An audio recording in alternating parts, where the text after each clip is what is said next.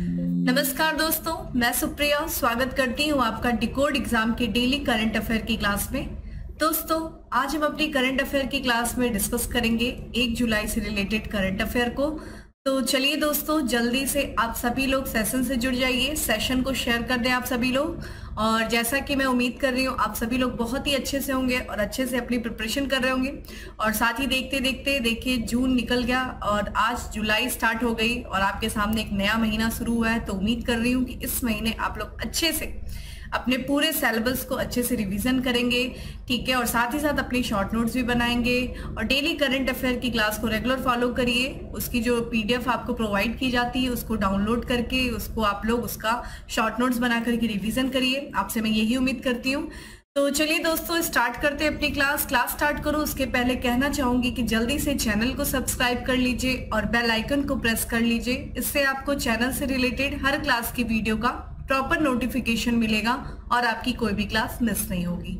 Start करते हैं दोस्तों अपनी क्लास और सबसे पहला आज का हमारा प्रश्न है दोस्तों की।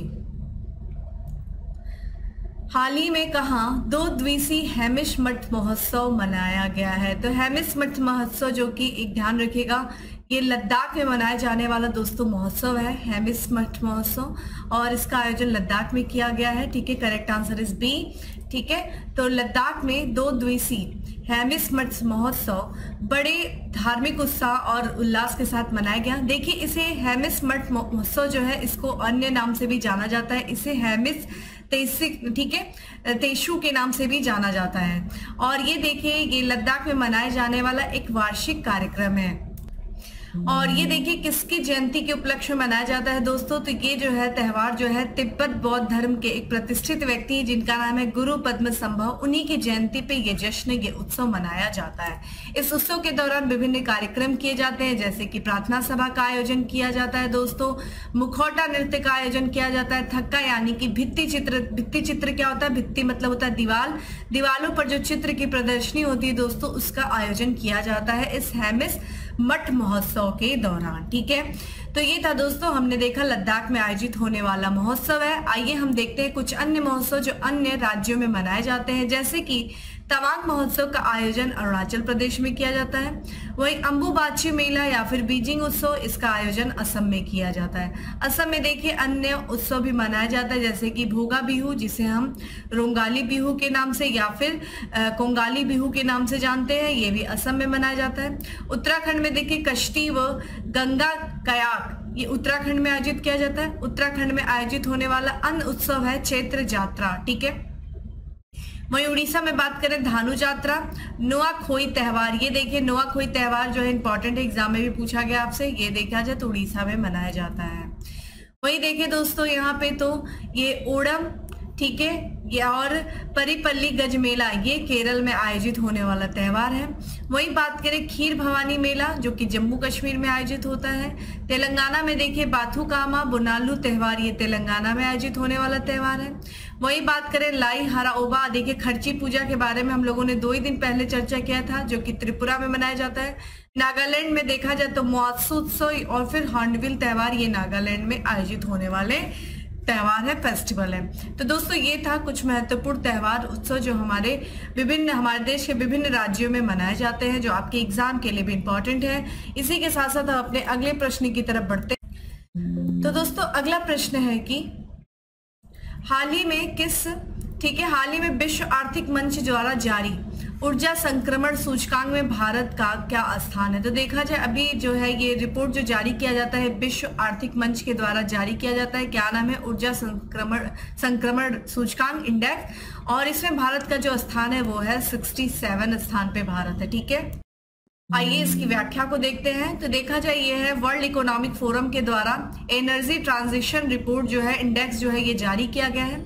और इस रिपोर्ट में भारत जो है इस साल 2023 में 67 स्थान पे है। इस सूचकांक की बात किया जाए तो ये एक्सचेंजर, ठीक है, एक्सचेंजर के सहयोग से इसको जारी किया गया है, इसको प्रकाशित किया गया है। शीर्ष स्थान पे, ठीक है, ऊर्जा संक्रमण सूचकांक में जो शीर्ष स्थान पे, सर्वोच्च स्थान पे जो कंट्री है, वो है स्वीडन है, ठीक है, और उसके बाद देखा जाए टोटल जो है कंट्री में 120 देशों को शामिल किया गया है। स्वीडन के बाद देखा जाए तो डेनमार्क है, फिर नॉर्वे है, फिर फिनलैंड है, और फिर स्विट्जरलैंड है। देखा जाए शीर्ष दस में एकमात्र सिर्फ़ जी ट्वेंटी देश है, जिसका नाम है फ्रांस, ठीक है, जो कि सातवें स्थान पे है।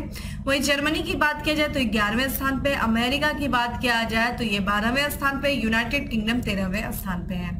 रिपोर्ट में देखिए, कुछ महत्वपूर्ण बातें कही गई हैं, जैसे कि ऊर्जा, वैश्विक ऊर्जा संकट और भू राजनीतिक अस्थिरता के बीच ग्लोबल एनर्जी ट्रांजिशन धीमा हो गया ठीक है, ध्यान रखेगा लेकिन भारत के बारे में देखा जाए, क्या कहा गया है कि भारत अभी उन देशों में से है जिन्होंने बहुत ही महत्वपूर्ण सुधार किए हैं। किसमें, दोस्तों? ऊर्जा, ठीक है, संक्रमण के क्षेत्र में।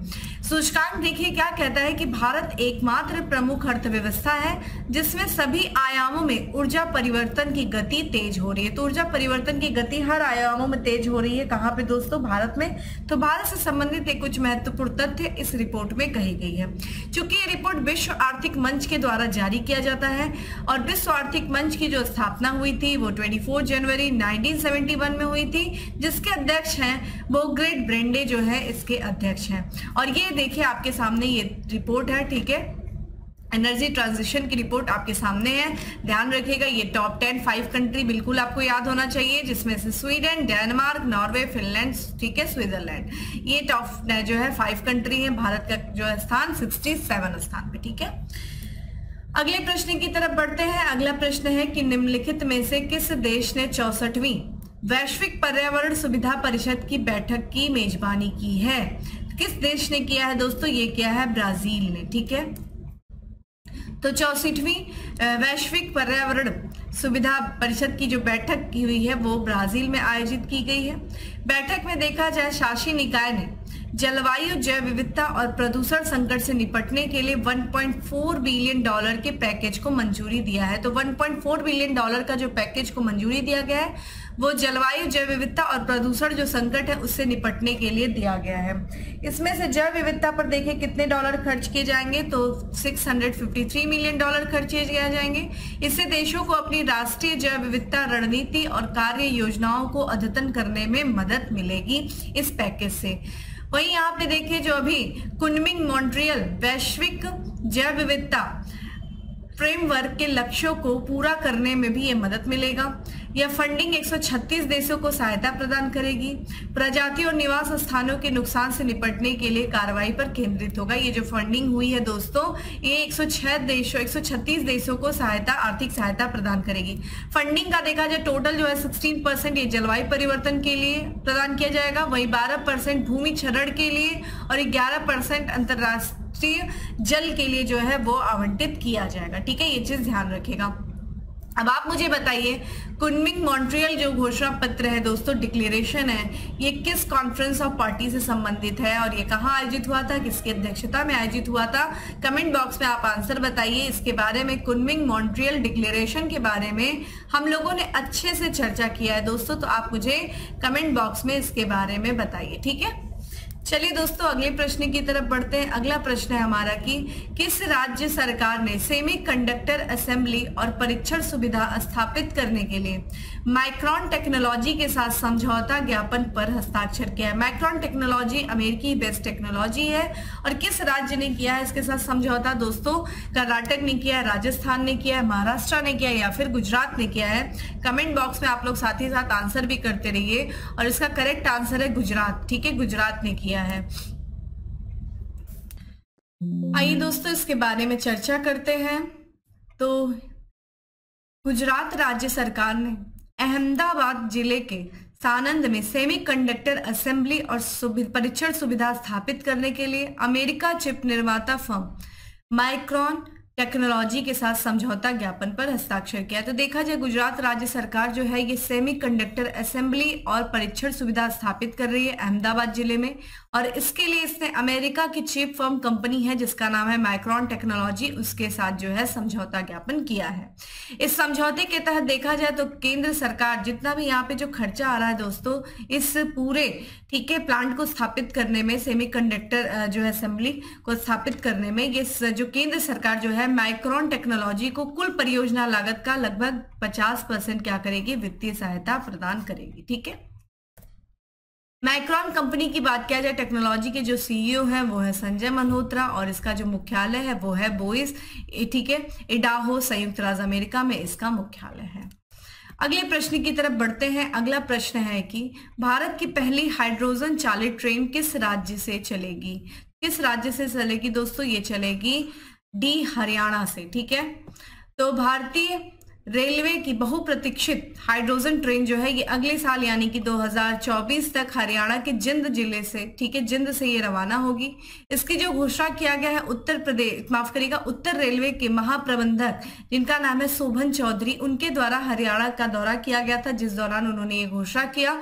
कि हरियाणा से जो है, हरियाणा के जिंद से जो है, भारत की पहली हाइड्रोजन ट्रेन का क्या किया जाएगा? संचालन किया जाएगा।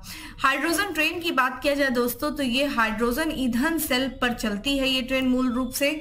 और ये ईंधन जो है, ईंधन सेल किससे मिलकर के बनता है? तो ये ईंधन ऑक्सीजन और हाइड्रोजन को मिलाकर के बिजली बनाता है। और इसी से जो है ट्रेन की मोटर का संचालन होता है। और ये भारत की पहली हाइड्रोजन ट्रेन होगी, जो किसके किसके बीच चलेगी तो जो हरियाणा के जिंद और सोनीपत के बीच चलाया जाएगा, ठीक है? हरियाणा की दोस्तों, बात किया जाए तो हरियाणा के जो राजधानी, वो है चंडीगढ़। और यहाँ पे बंदारू दत्रेया, जो कि यहाँ के राज्यपाल हैं, और मनोहर लाल खट्टर जो है, वो यहाँ के मुख्यमंत्री हैं। अगर हम बात करें दुनिया की पहली जो है हाइड्रोजन संचालित ट्रेन कहाँ चली थी? हाइड्रोजन ईंधन सेल तो ये जर्मनी का जो, ठीक है, कोराडिया आइलैंड जो है, ये हाइड्रोजन ईंधन सेल द्वारा संचालित दुनिया की पहली ट्रेन है। तो जर्मनी में चलाया गया था हाइड्रोजन से संचालित दुनिया की पहली ट्रेन, ठीक है? ध्यान रखिएगा। चलिए आप मुझे बताइए, उत्तर रेलवे का मुख्यालय कहाँ पे है? ठीक है, जो अभी हम लोगों ने देखा, उत्तर रेलवे के जो महाप्रबंधक है, सोमन चौधरी, आप मुझे बताइए कि उत्तर रेलवे का मुख्यालय कहाँ पे है?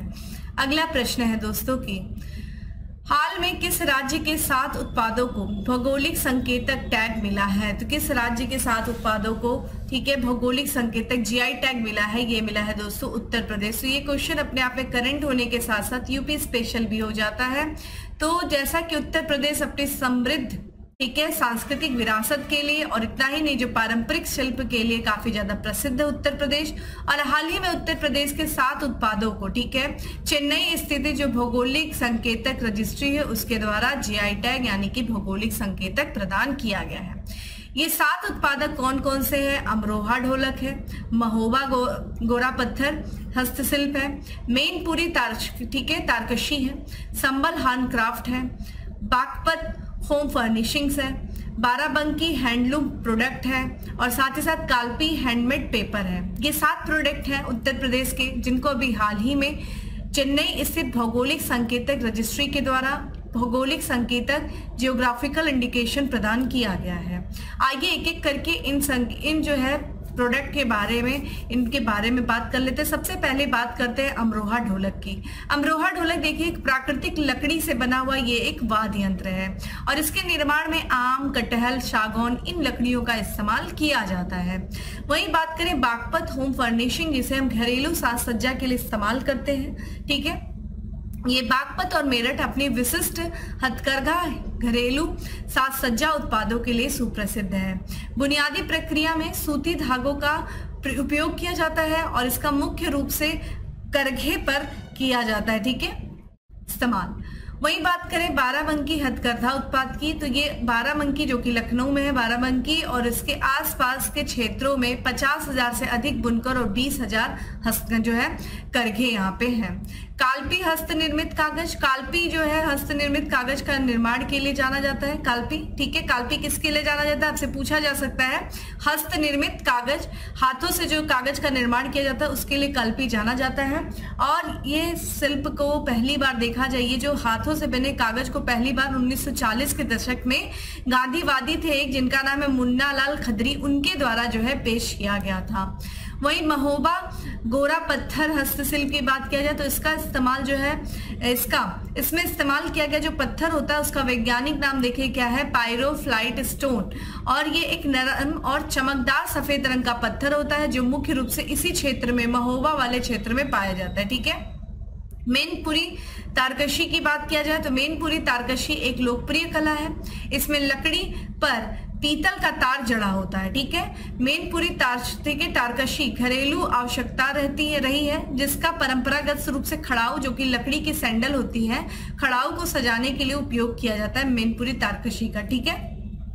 और लास्ट है Sambhal horn craft Sambhal horn craft में मृत पशुओं से प्राप्त कच्चे माल का प्रयोग किया जाता है और ये शिल्प पूरी तरीके से हस्त निर्मित होती है। तो जो पशु मर जाते हैं, उनके चमड़े या फिर उनके जो भी माल होता है, कच्चा माल होता है, उसका इस्तेमाल करके ये संबल हार्न क्राफ्ट बनाया जाता है और इसको पूरी तरीके से हाथ से निर्मित किया जाता है, ठीक है? तो ये था दोस्तों, जो भी हाल फ़िलहाल में उत्तर प्रदेश के सात उत्पादों को जीआई टैग मिला है, उसके बारे में हम लोगों ने थोड़ा थोड़ा सा ब्यौरा देखा। अब बात करते हैं अपने अगले प्रश्न की। अगला प्रश्न है कि हाल ही में स्वच्छ सर्वेक्षण का कौन सा संस्करण आवास और शहरी मामलों के मंत्रालय द्वारा शुरू किया गया है? तो कौन सा किया गया है दोस्तों? ये किया गया है आठवां संस्करण, ठीक है? तो स्वच्छ सर्वेक्षण का ये आठवां संस्करण है, जो आवास और शहरी मामलों के मंत्रालय द्वारा शुरू किया गया है। स्वच्छ सर्वेक्षण, देखिए टैगलाइन क्या है? मेरा शहर, मेरी पहचान।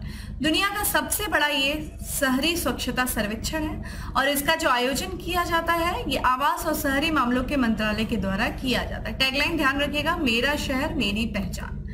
स्वच्छ सर्वेक्षण का अगर हम उद्देश्य की बात करें दोस्तों तो ये शहरों को फास्ट ट्रैक प्रतिस्पर्धी तरीके से सतत स्वच्छता और अवशिष्ट प्रबंधन के लक्ष्य को प्राप्त करने में मदद करना है और इसके माध्यम से स्वच्छ सर्वेक्षण ने स्वच्छता में सुधार के लिए शहरों के बीच प्रतिस्पर्धा की स्वस्थ भावना पैदा की है।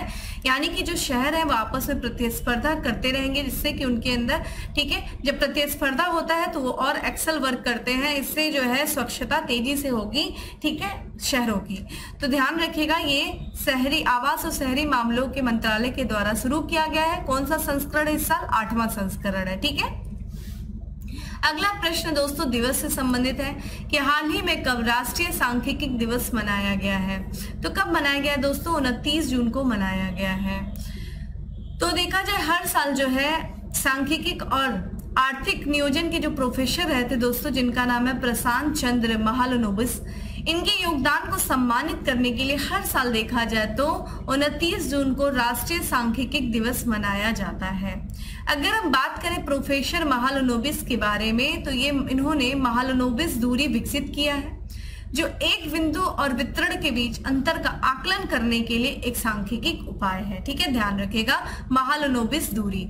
प्रोफेसर महालनोबिस को देखा जाए, भारतीय सांख्यिकी के जनक के रूप में जाना जाता है। मोस्ट इंपॉर्टेंट आपसे पूछा जा सकता है कि भारतीय सांख्यिकी के जनक के रूप में किसे जाना जाता है? प्रोफेसर महालनोबिस को जाना जाता है।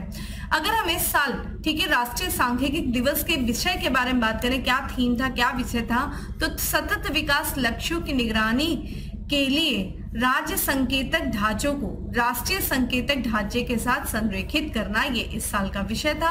और हम बात करें राष्ट्रीय सांख्यिकी दिवस की शुरुआत कब से हुई थी तो जो पहला उत्सव मनाया गया था उनतीस जून 2007 को मनाया गया था और इसी दिन से इस दिन की शुरुआत की गई थी।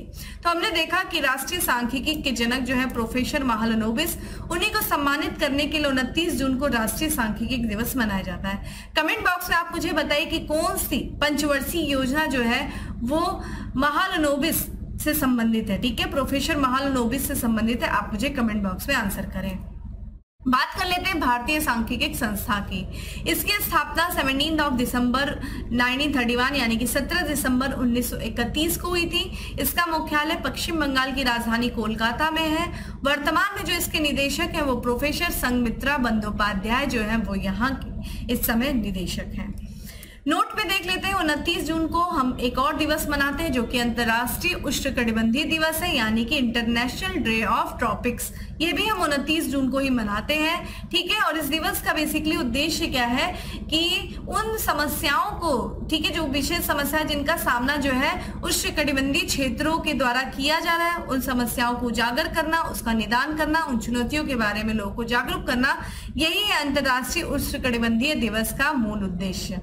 ठीक है? तो, तो ये था दोस्तों दिवस से संबंधित कुछ महत्वपूर्ण ठीक है?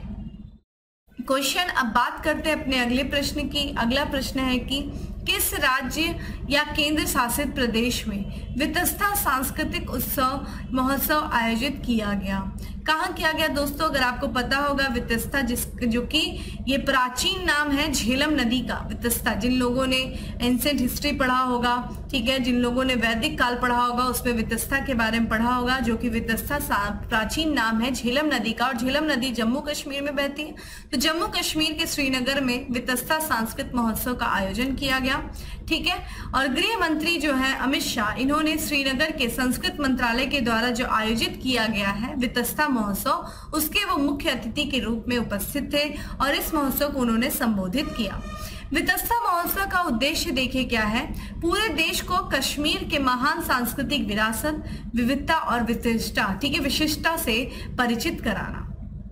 जो कश्मीर की अपनी संस्कृति है, जो उसकी विविधता है, उससे पूरे देश को परिचित कराने के उद्देश्य से जो है, संस्कृत मंत्रालय ने वितस्ता महोत्सव का आयोजन किया, जिसके मुख्य अतिथि थे दोस्तों केंद्रीय गृह मंत्री अमित शाह जी। वितस्ता देखिए, ये प्राचीन नाम है झेलम नदी का, और इससे जुड़ी जो लोक मान्यताओं पर केंद्रित है, और वैदिक काल से ही ये पवित्र नदी माना जाता था, ठीक है? ध्यान रखिएगा। आज के हम लास्ट एमसीक्यू की तरफ़ बढ़ते हैं। हमारा लास्ट एमसीक्यू है कि निम्न में से कौन सा देश एच वन बी वीज़ा धारकों के लिए ओपन वर्क परमिट योजना स्ट्रीम बना रहा है? तो मैक्सिको बना रहा है फ्रांस बना रहा है कनाडा बना रहा है या फिर पेरू बना रहा है? तो ये करेक्ट आंसर है सी है कनाडा ठीक है? तो कनाडा जो है, वो एक योजना के अंतर्गत खुली वर्क परमिट स्ट्रीम बना रहा है, जिसके फलस्वरूप दस हज़ार अमेरिकी एच वन बी वीज़ा धारकों को कनाडा में कार्य करने की अनुमति मिलेगी। एच वन बी वीज़ा एक गैर प्रवासी वीज़ा है, जो अमेरिकी कंपनियों को विशेष विशेष, ठीक है, विशेषज्ञता वाले विदेशी कर्मचारियों की नियुक्ति करने में सक्षम बनाता है।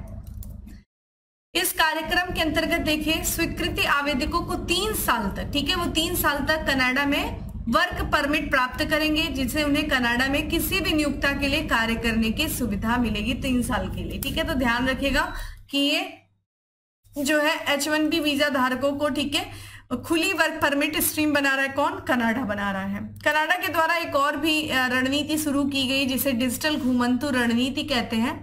तो कनाडा ने देखा, जब विशेष रूप से तकनीकी उद्योग में अपने कुशल श्रमिकों की कमी को दूर करने के लिए, डिजिटल घुमंतु रणनीति शुरू किया है। किस उद्देश्य से? जो तकनीकी उद्योग में जो कुशल श्रमिक हैं, उनकी कमी को दूर करने के लिए, यानी कि बाहर से जो है श्रमिकों को जो कुशल, जो स्किल्ड वर्कर हैं, उनको आकर्षित करना, ताकि वो अपनी तकनीकी उद्योग में जो कमी है, उसको पूरी कर सके। कौन? कनाडा। और इसके लिए एक रणनीति शुरू किया है, जिसका नाम है डिजिटल घुमंतु रणनीति। इसका लक्ष्य दुनिया भर के प्रतिभाशाली व्यक्तियों को आकर्षित करना है। और ये जो घोषणा की गई टोरंटो के कोलिजन में, तकनीकी सम्मेलन के दौरान किया गया था। घुमंतु रणनीति के तहत देखा जाए, विदेशी श्रमिकों को कनाडा में छह महीने तक की रहने की अनुमति होगी। तो छह महीने तक जो है, वो नोमेडिक की तरह रह सकते हैं, ठीक है? तो ये ध्यान रखिएगा, घुमंतु, ठीक है? यहाँ पे डिजिटल घुमंतु रणनीति जो है, वो शुरू की गई कर्नाटक, कनाडा के द्वारा। कनाडा देखिए, ध्यान रखिएगा आपको यहाँ पे ये नॉर्थ अमेरिका का देश है, जिसका जो है सीमा लगती है यहाँ पे यूनाइटेड स्टेट से, ठीक है? और इसकी राजधानी जो है वो ओटावा है, ठीक है? और यहाँ की जो मुद्रा है करेंसी है वो कैनेडियन डॉलर है। और यहाँ की जो प्रधानमंत्री जस्टिन ट्रूडो जो है वो यहाँ के प्रधानमंत्री हैं। तो दोस्तों, ये था आज का हमारा टेन एमसीक्यू अब बात करते हैं दोस्तों, फैक्ट्स ऑफ़ द डे की। आज का हमारा सबसे पहला फैक्ट है कि डिजिटल परिवर्तन को बढ़ावा देने के लिए डांस के बैंक के साथ 454 मिलियन डॉलर के समझौते पर हस्ताक्षर किया है। किसने किया है? इंफोसिस ने किया है। पंजाब के नए मुख्य सचिव के तौर पर नियुक्त किया गया किसे? अनुराग वर्मा को। डीबीएस बैंक इंडिया के प्रबंध निदेशक के रूप में नियुक्त किया गया है किसे? रजत वर्मा को। वही बात करें विश्व क्रिकेट में लगातार 100 टेस्ट खेलने वाले पहले गेंदबाज बन गए हैं, नाथन लॉयन बन गए हैं। वहीं हॉकी इंडिया ने जूनियर महिला राष्ट्रीय टीम का मुख्य कोच नियुक्त किया है। किसे किया है? तुषार खांडकर को किया है। तो दोस्तों, ये था आज का हमारा जो है करंट अफेयर उम्मीद करती हूँ आपको अच्छा लगा होगा। अच्छा लगा है तो लाइक कर दीजिएगा शेयर कर दीजिएगा। ज़्यादा से ज़्यादा लोगों को शेयर करिए आप लोग। और डेली करंट अफेयर की दोस्तों, जो पीडीएफ है वो आपको टेलीग्राम ग्रुप पे अवेलेबल है, जिसका लिंक आपको डिस्क्रिप्शन बॉक्स में दिया हुआ है। जाइए डाउनलोड करिए और ना सिर्फ़ डाउनलोड करिए, बल्कि अपने प्रिपरेशन में लग जाइए। फिर मिलते हैं दोस्तों अगले सेशन में, तब तक के लिए ma'am have a good day stay safe and stay happy